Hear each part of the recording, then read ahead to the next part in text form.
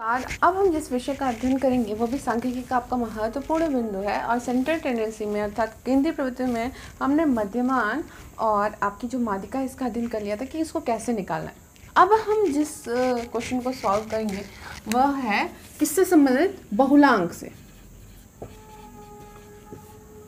अब बहुलांक से संबंधित जो आपका प्रश्न है, उसको हम सॉल्व करने के लिए, हम जो सॉल्व करने का प्रयास करेंगे, उसके लिए हमें कुछ जानना पड़ेगा कि ये है क्या। तो इसको इंग्लिश में कहते हैं मोड और इसको डिनोट करते हैं एम ओ से ठीक है? अब देखिए, ये जो मोड होता है, इसको मतलब कैसे आइडेंटिफाई करेंगे, किसी का मोड कैसा? तो दो प्रकार के आंकड़े होते हैं, एक वर्गीकृत और दूसरा अवर्गीकृत। अभी ध्यान से देखिएगा। अब आपने जान लिया कि जो ज़्यादा बार आएगा, वही क्या होगा आपका? मोड होगा लेकिन यहाँ देखिए, जो हम आंकड़े जितने भागों में बांटते हैं, उसके अनुसार कैसे निकालेंगे? जैसे अवर्गीकृत में दो, चार, पाँच, दो, आठ, पाँच, नौ एक्सेट्रा अगर ऐसे डाटा दिया हुआ है रॉ में, जिसको वर्ग में नहीं रखा तो इसमें जो सबसे ज़्यादा बार आया, जैसे पाँच एक बार आया, पाँच एक बार तो इसका मोड क्या होगा? फाइव ठीक है, यहाँ अपने आइडेंटिफाई कर लिया, बहुत ईजी है, कि इसका मोड कैसे निकालेंगे। ठीक है, वर्गीकृत जैसे दिया तो उसमें आपको पता है सी आई देगा और एफ़ देगा, दो टर्म आपके क्वेश्चन में दिया अब जैसे हमने माना कि थर्टी से थर्टी नाइन फोर्टी से फोर्टी नाइन फिफ्टी से फिफ्टी नाइन सिक्सटी से सिक्सटी नाइन सेवेंटी से सेवेंटी नाइन ये आपका आंकड़ा। अब मान लीजिए यहाँ आवृत्ति दी है आठ, दस पंद्रह, चार, दस। अब आप, अब यहाँ देखिएगा, अब एक, अगर आप इसको देख के कहें कि आपका ये बहुलांक है तो ऐसा हो ही नहीं सकता। दस दस, दो बार आ गया। ये तो आपकी फ्रिक्वेंसी कोई बार, ये वाले इंटरवल में दस बार आया और ये वाला इंटरवल इसलिए मैंने ऐसा आपको ऑप्शन दिया कि ये वाले में भी दस आया, ये भी में दस आया। लेकिन आप यहाँ देखिए कि सबसे ज़्यादा बार जो क्लास इंटरवल जो जो फ्रिक्वेंसी मतलब सबसे ज़्यादा बार जिसमें हम उसी जो इंटरवल है, उसको लेते हैं। अब सूत्र कैसे बताएँगे कि इसका सूत्र क्या होता है? अब ध्यान से देखिएगा, जब वर्गीकृत आंकड़े को सॉल्व करते हैं तो जो हम सूत्र लगाते हैं, वो कुछ इस प्रकार से होता है। कैसे?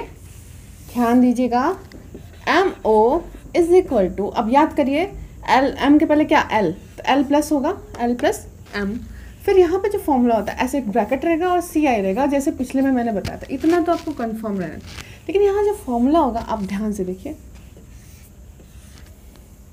F of M minus F of B upon F of M minus F of A plus F of B M minus F of B ये आपका सूत्र इसको और एक तरह से लिख सकते is equal to L plus F of A upon F of A plus F of B into C I जल्दी में।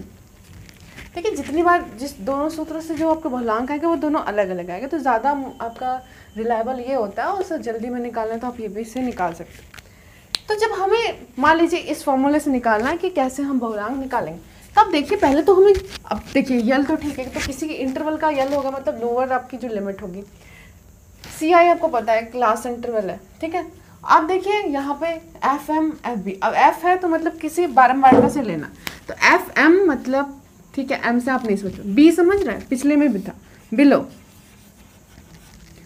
ए क्या है? अपर एफ़ ऑफ़ ए क्या है आपका? ये। एफ़ ऑफ़ बी ये।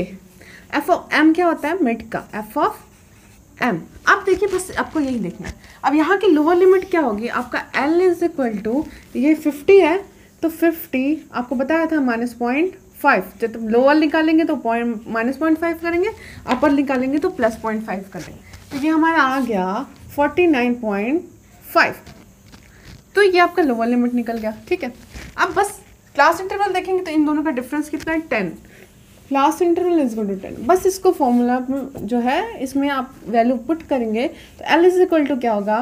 Forty nine point five plus F F M means fifteen minus F of B four upon फिर fifteen minus ten plus fifteen minus four, क्योंकि यहाँ पे देखिए आप दिया हुआ। अब आप कहेंगे कि एफ़ ऑफ़ ए तो अपर है तो ज़्यादा क्यों नहीं है? अरे भैया, सबसे ज़्यादा तो आपका एफ़ मीन जो आपने लिया है, इससे कम ही होगा ना?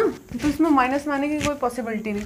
बस इसको सॉल्व कर दीजिए आपका, और आपका मोड यहाँ पे आइडेंटिफाई हो जाएगा कि आपका मोड क्या होगा। तो ये आपके जो प्रश्न होते हैं, वो बहुलांक संबंधी प्रश्न होते हैं। एक और सूत्र होता है आपका, जो अक्सर पूछता है। सूत्र कौन सा होता है? ज़रा सा ध्यान दें। जब आपके प्रश्नों में मीन मीडियन मोड तीनों एक साथ पूछ ले, तब आप क्या करेंगे?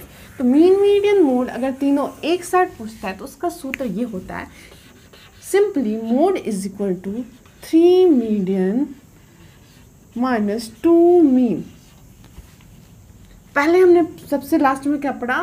फिर उसके बाद क्या पढ़ा? उसके पहले सॉरी सबसे लास्ट में क्या पढ़ा? उसके पहले क्या पढ़ा? उसके, पहले होता मध्यमान माध्यिका मोड। तब यहाँ देखिए, यहाँ पहला जो टर्म आएगा वो माध्यिका का है, दूसरा जो आएगा मीन मध्यमान का। ये क्या है आपकी? माध्यिका, और ये क्या है आपका? मध्यमान, और ये क्या है आपका?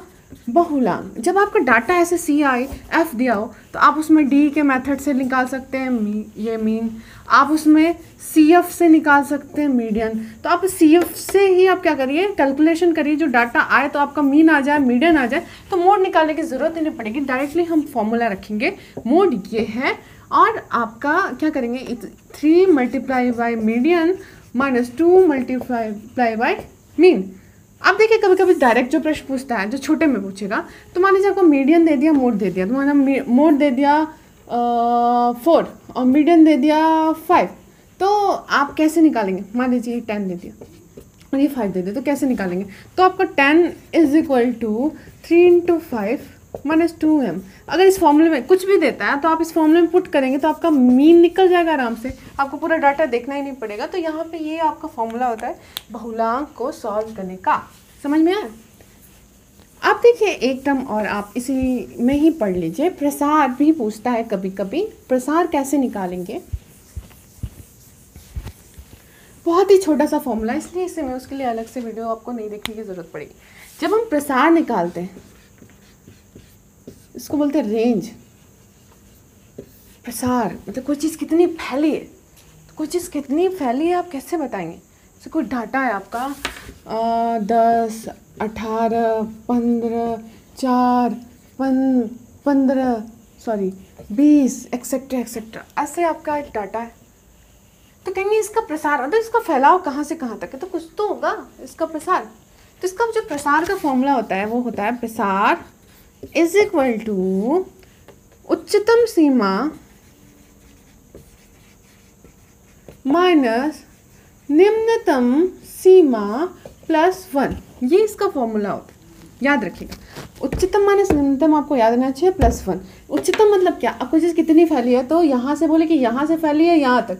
तो इसको यहाँ हटा देंगे और अगर टोटल में से यहाँ से ये देखिए, तब आपका आ जाएगा? नहीं। उच्चतम सीमा माइनस निम्नतम सीमा। तो जब हटाएँगे तो आपका ये प्रसार कितना फैलाव है उस डाटा का, आपको पता चल जाए। अब जैसे इस आपका इस एग्ज़ाम्पल में हमें निकालना है तो कैसे निकालेंगे? उच्चतम सीमा क्या? आइडेंटिफाई करिए। बीस। निम्नतम सीमा क्या है? चार।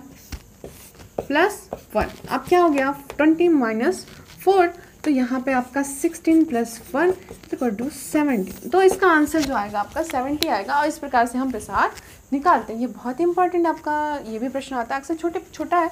तो पूछ सकता है कहीं भी, आपके नेट के फ़र्स्ट पेपर में या सी टेट में या यूपी टेट में तो आप इसको प्रिपेयर कर लीजिए और किस प्रकार से आपको इसको सॉल्व करना ये भी देख लीजिए। इसके अलावा अगली सीरीज़ में हम अन्य ऐसे सांख्यिकी विधियों का अध्ययन करेंगे, जैसे चतुर्थांश हो गया आपका क्वार्टाइल हो गया, बहुत सारी। आप जो स्टैंडर्ड डेविएशन निकालते हैं तो उसके भी फॉर्मूलों को हम यहाँ पर देखेंगे कि कैसे हम सॉल्व करते हैं सांख्यिकी में इन मानों को। अगर इस, इससे संबंधित आपके प्रश्न आते हैं तो वो कैसे सॉल्व करें आप अपनी तैयारी में लगे रहिए, ठीक है? जिसकी, जिसको इसको पढ़ने की ज़रूरत नहीं है, ना पढ़े, लेकिन जिनको ज़रूरत है, आपके एकेडमिक में या आप नेट का दे रहे तो उसमें जो सांख्यिकी होती है तो ये एकदम इतना इजी प्रश्न नहीं देता। लेकिन हमें जानने की आवश्यकता होती है कि किसको कैसे हम निकालते हैं। ज़्यादातर चीज़ें हमारी कवर कवर अप रहती हैं तो हमें क्या होता है, हमें हेजिटेशन या जो हमारी हिचक रहती है, वो कम रहती है, और हम जितना एग्ज़ाम से पहले रिलैक्स रहते हैं, उतने अच्छे से हम पेपर को सॉल्व करते हैं। अगर आपको देख के प्रश्न लगे, अरे, मैंने तो ये देखा ही नहीं है क्या था? तो ज़्यादा गलत होने की संभावना होती है। अगर आपने थोड़ा बहुत देखा होता तो आप ऑप्शन देख के भी उसका आंसर निकाल सकते हैं।